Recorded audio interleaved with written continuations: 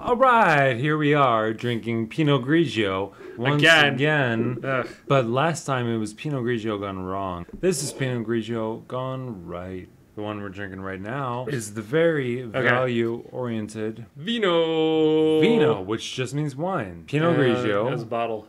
It's got a bottle in it. It's got a bottle. Uh, it's a fella you know, Mr. Charles Smith. One of the objects of one of our very first videos. It's Italian inspired and locally produced. What he means by locally is uh, Central Washington. It is clean, it is crisp. There's like the apricot. This is some refreshing ass shit.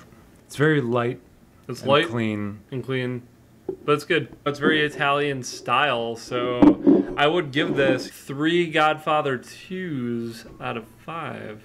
That is pretty good. This is a $10 bottle. That's all you can ask of a $10 bottle of wine, honestly. And that's all any Pinot Grigio should ever cost is ten dollars.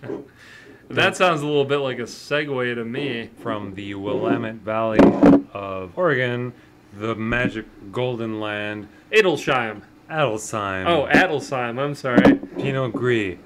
Pinot Gris? Why is it Pinot Gris and not Pinot Grigio? Well, because Pinot Gris you're the is, wine guy, is man. a French style. Pinot Grigio is an Italian style. This grape originated in France, so now they are the same grape, yes? they are the same grape. Same grape, different style. Different style, same grape. This one's creamier, for sure. It has a lot of elements. Mm-hmm. I like the creaminess the best. But I gotta say, the first wine was much more refreshing and cleansing than this one was. But this one has a lot more going on. And the Adelsheim is twice the price. I don't necessarily think it's twice as good, but uh, it's, it is the better of the two, but it is also double the price. So, you know how we come down on that kind of thing. I'm gonna give this one three and a half Edelweisses out of five. If you're in a situation where you had to go to your friend's house party or something, buy the $10 one. It kicks ass. It's good, you know, but if you're looking for something a little more complex and challenging for yourself and you have some money to blow, you know, buy the $20 one. Don't get the $10 one. You know, it's different wines for different situations, but they're both pretty Yeah. spot on and decent. There's that rydell noise we know and love. We're gonna pair this series with A personal favorite for both of us. 1989's debut album from a Grammy Award winning Uh, artist. And an Oscar award winning artist. He's won an Oscar and a Grammy. His name is Trent Reznor. It's funny to say both those things, but yep, it's true. it's pretty hate machine. Pretty hate machine.